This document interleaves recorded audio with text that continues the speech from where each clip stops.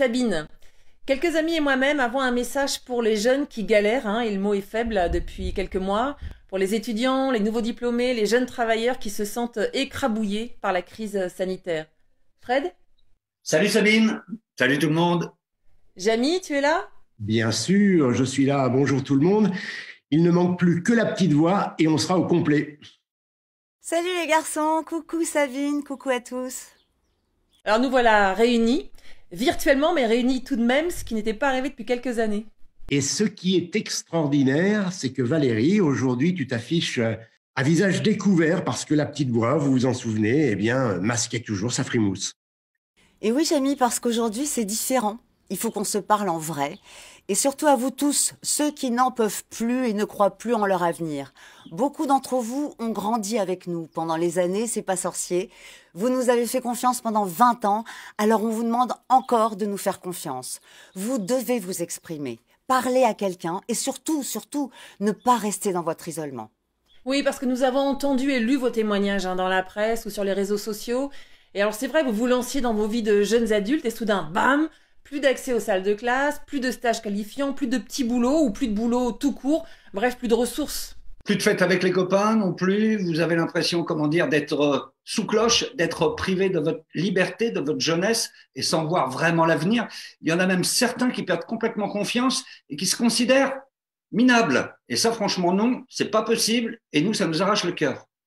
Alors évidemment, non, vous n'êtes pas minable. Il est tout à fait normal de ressentir du stress dans la situation actuelle.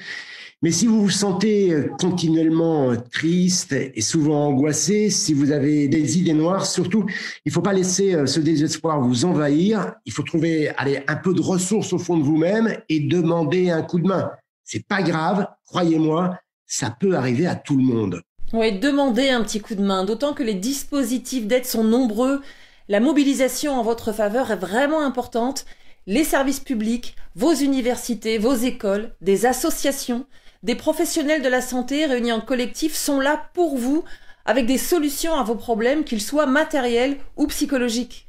Mais le problème, c'est que tous ces professionnels dont Sabine vient de nous parler ne savent pas toujours comment vous trouver ni comment vous contacter. Et puis en même temps, de votre côté, vous ne savez pas forcément non plus à qui vous adresser. Alors les amis, si vous broyez du noir ou si vous êtes inquiet pour l'un de vos amis, vous pouvez téléphoner à Fil Santé Jeune au 0800 235 236. L'appel est gratuit. Vous pouvez aussi les contacter par chat à filsantéjeune.com.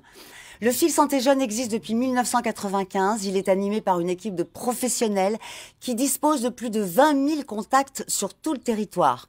Quel que soit votre problème, ils vous dirigeront vers l'organisme ou les professionnels qui sauront vous aider à côté de chez vous. Alors allez-y, hein, appelez si nécessaire, sortez de l'isolement, ok? Et puis souvenez-vous, votre jeunesse est votre principal atout, alors euh, il faut en prendre soin. Et surtout, vous prenez soin de vous.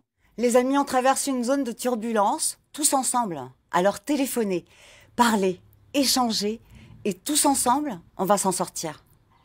Ciao. Ciao. Ciao. Bon